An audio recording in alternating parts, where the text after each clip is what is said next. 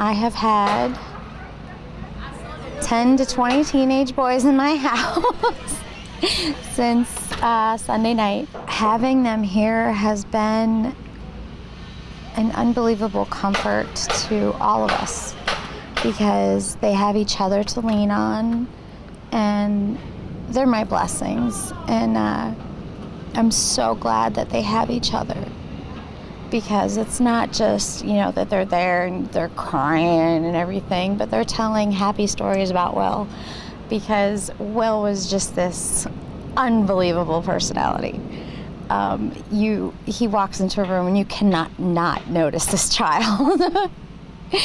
and, you know, he would bounce down the stairs, Mumsy, what's going on, you know? When Will went out that night, he, uh, I was just sitting on the couch and he, he put his arms around me and I said, what do you want? Because I just gave him 50 bucks.